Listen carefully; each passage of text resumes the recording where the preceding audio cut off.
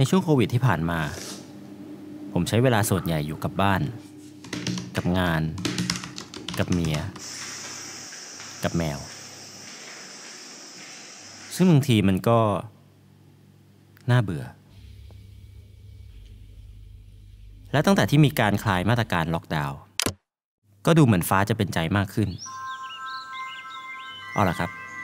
ถึงเวลาออกไปเที่ยวแล้ว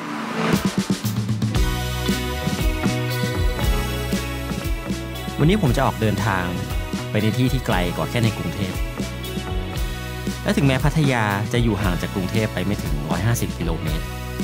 แต่ผมก็ตื่นเต้นมาก ทริปนี้เรามาพักที่โรงแรมพูแมนพัทยา และที่พิเศษสำหรับทริปนี้ก็คือ ผมไม่ได้มาคนเดียวครับ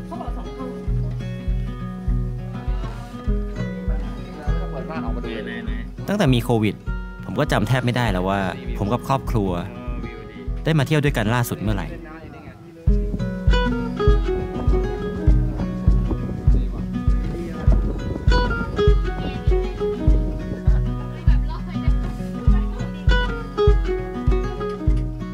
และดูเหมือนคนที่ตื่นเต้นไม่น้อยไปกว่าผมเลยเนี่ยก็คือมาดิมานี่ดูคนแรกพ่อของผมเองครับ คนนี้ดีใจก็เปิดแล้วเหรอ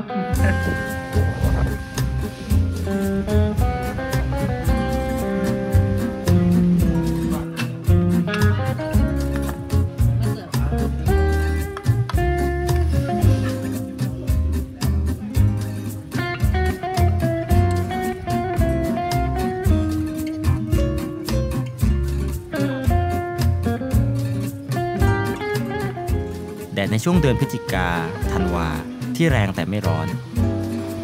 บวกกับเสียงคลื่นทะเลเนี่ย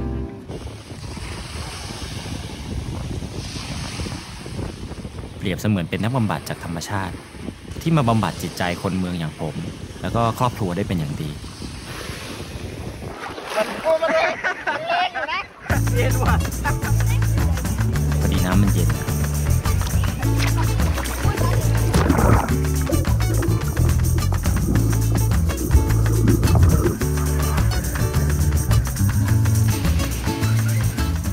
และถึงแม้พระอาทิตย์ที่ขอบฟ้าวันนี้ จะเป็นดวงเดียวกันกับที่กรุงเทพ แต่ไม่รู้ทำไมครับ ผมถึงรู้สึกราวกับว่ามันเป็นคนละดวงกันเลย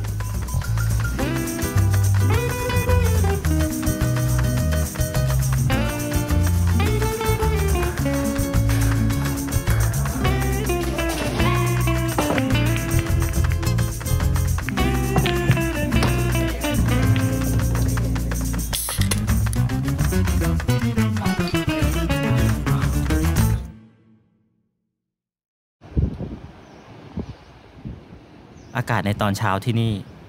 เย็นไม่แพ้น้ำทะเลเมื่อวานครับ หลังจากที่ได้ตื่นมาสูดอากาศแล้ว ก็ถึงเวลาของอาหารเช้าครับ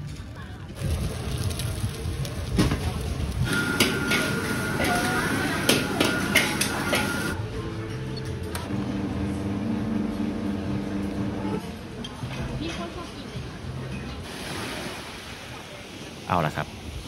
กินอิ่มแล้วก็ต้องเดินย่อยซะหน่อย ตอนแรกคิดว่าขึ้นตัน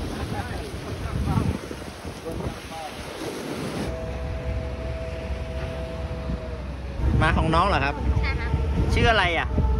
หลานล่างหลานลั่นคนไทยหรือเปล่าครับ national so where you from international international ขนแบบเลอะทรายหมดเลยแม่ โอ้ยตาย is he a boy or girl girl โหน่ารักจัแล้งวก็มาชอบ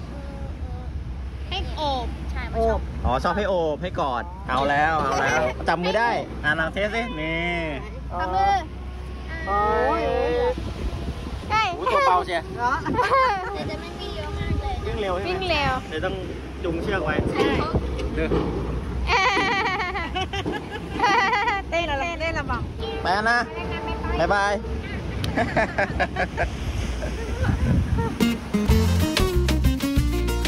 ขอบคุณโควิด แล้วก็พัทยานะครับ ที่ทำให้ผมได้เรียนรู้ว่า การไม่ได้มาเที่ยวทะเลนานๆเนี่ยทำให้ทริปนี้มีความหมายกับผม มากกว่าที่ผมคิด โดยเฉพาะการได้มากับครอบครัว ขอบคุณโรงแรมพูแมนพัทยาด้วยนะครับ ที่ถึงแม้จะไม่ได้เป็นสปอนเซอร์ให้กับวิดีโอนี้เลย แต่เราก็ชอบที่นี่ครับ ที่จริงผมมาเป็นครั้งที่สองแล้วและที่ชอบที่สุดก็คือโรงแรมในวันธรรมดานี่แหละครับเงียบกริบ